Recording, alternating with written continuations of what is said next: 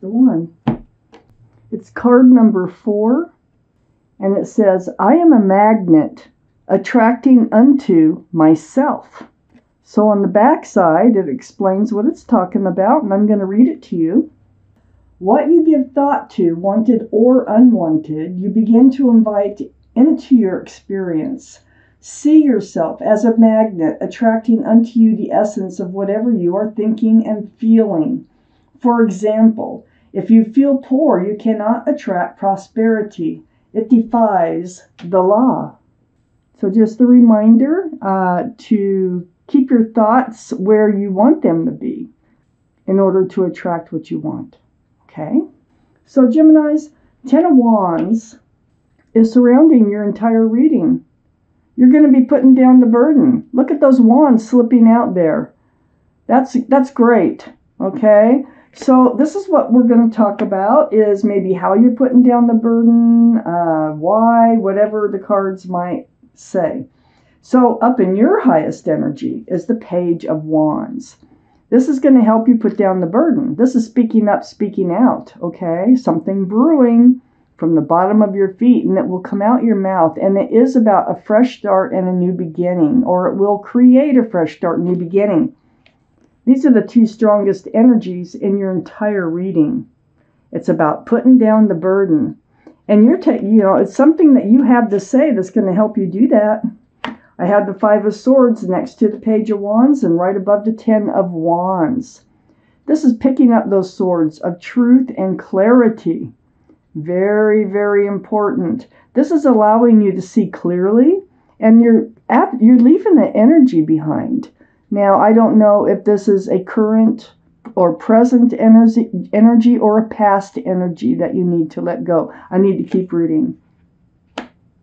But in letting this energy go, you are able to drop a burden. I have the Two of Wands next to the Five of Swords. So there you are. You're looking out over the world. There's the world right there, a globe.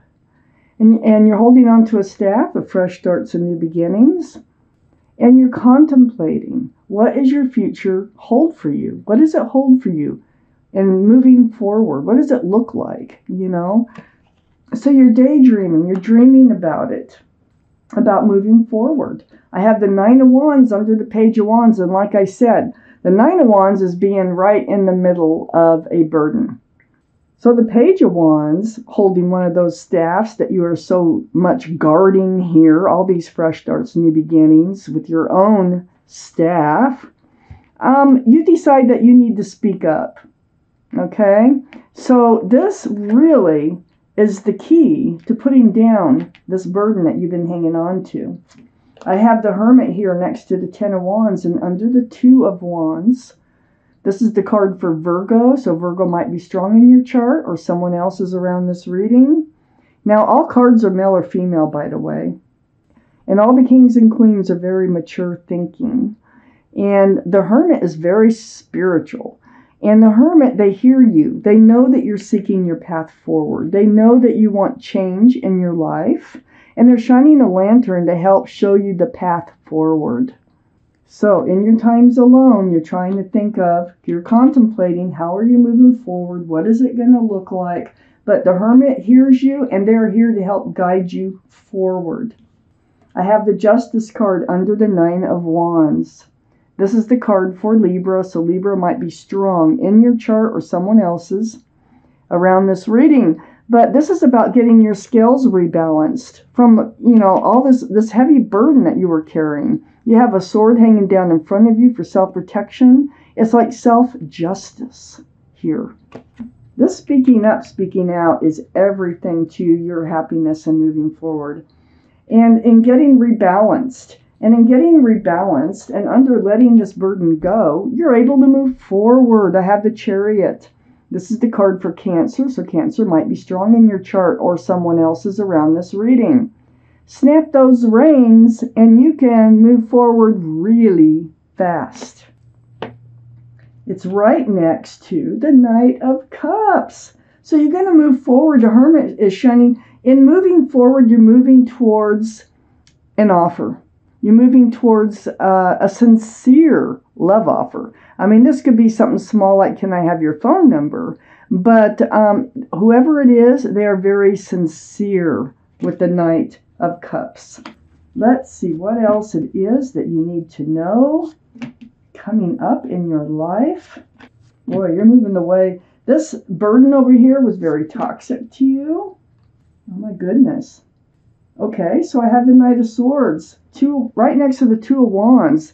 Yeah, you're taking action. You're taking action by speaking up, speaking out about your fresh start the beginning. It helps you move forward. You seek the truth, you seek the clarity. Uh, you're not taking something anymore. You're, you're just not putting up with something anymore. And so you that's the most actionable card in the whole deck. And you are definitely taking action with the help of the universe right here, right next to the Knight of Swords. That's the wheel, the wheel of fortune. And when that wheel is turning, you can't stop it. I mean, you can feel the pushing, the tugging, the whispering in your ear, and it will move you forward. So you have help. You have big, powerful help behind you. It's moving you past some type of toxic energy that's been around you. That's what the burden, the burden became toxic. It is toxic, and you're letting it go. Uh, there might have been a third party with this card. Hmm, I have to look around, see. Yeah, you, you know, it kind of points to maybe there was a third party or a third energy around whoever it is that you need to speak up to. Um, but that is going away. You're moving past it. Uh, this is the card for Capricorn. Capricorn might be strong in your chart or someone else's around this reading. So good. I could have the Two of Pentacles under the Knight of Swords and right next to the Hermit. Yeah, you've been off balance, but you get rebalanced. You got the Justice card over here. You've been standing on one foot, holding two pentacles, trying to stay grounded and balance, like I said. And so the Two of Pentacles, um, you just needed to get things cleared up. You take action so that you can relax. you can only stand on one foot for so long. Next to the Two of Pentacles is the Six of Wands. This is all about success and love. Guess where the wheel's taking you? The wheel is taking you towards success in love. The Six of Wands you're going to be celebrated for having a relationship with somebody, a partnership. All those wands are people who love and care about you, who celebrate your love. That wreath, that can symbolize engagement. This is a very serious uh, relationship coming in. And it's all because you take action about uh, whatever was holding you back, whatever this burden was, and getting the truth and the clarity. That Knight of Swords does get truth and clarity. And they do. The Knight of Swords will cut somebody out if you have to, and it looks like you really need to to move forward. I have the Three of Swords next to the Six of Wands and under that devil, the toxic energy. So the Three of Swords is a broken heart. They made you sad. You're recovering from it you probably had hopes of um, whoever this is that you're letting go for it to turn out to be a successful relationship, but it didn't.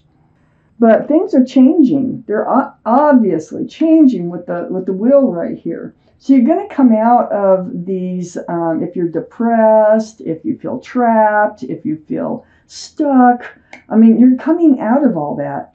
I have the Page of Swords under the Two of Pentacles and next to the Knight of Cups. So when this Knight of Cups comes in, this is a very sincere person now. When they come in, male or female, um, you're going to have your sword out. You're moving forward. You're keeping your sword out. You're paying attention to what's being said and done around you.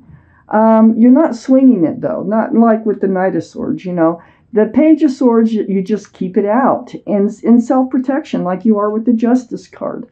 So that is good. And so when they come in, you're a bit cautious. And then I have the Empress. Now this is really interesting because the, the Empress is under the Six of Wands and right next to the Page of Swords. There's two things going on here. So the Empress is Libra or Taurus. That might be strong in someone's chart around this reading.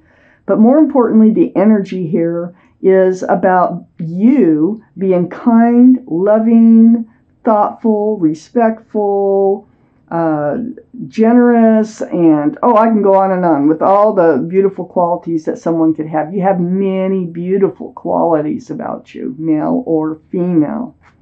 Well, in order to move forward and to have a success in love, that person, the other person, must have a lot of these same qualities. Okay? So be aware and make sure they have all the same qualities. And that's exactly what you're doing. You, are next to the Page of Swords, you're under the Six of Wands. And what this tells me, since it is under the Six of Wands, they're going to have a lot of the same qualities.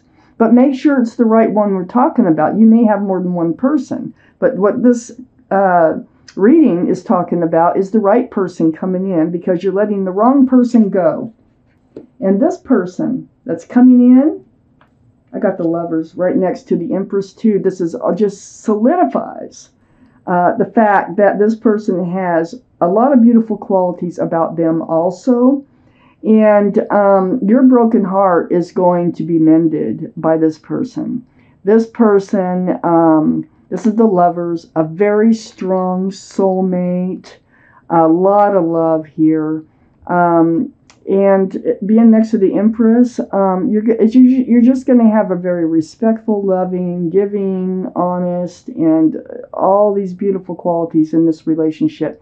You might have been lovers in another lifetime with this card, and maybe there's unfinished business and moving forward.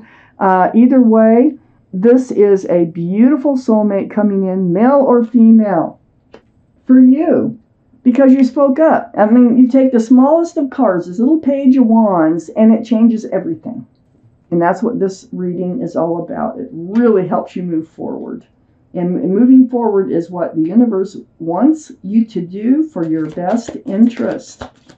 Okay, let's take out an angel card. Let's find out what do they have for you. What kind of advice do they have for you? It may or may not have to do with this reading. Uh, it may be just some message that they want to get through. Okay, so it's the Four of Thought. I will read it to you. Spend time in nature, listening for guidance from your angels and your own inner voice, because overanalyzing the situation won't provide the answers you're seeking. Consider taking a vacation or a small break to help you rejuvenate and become clear on what your next step should be. Meditation can be very helpful.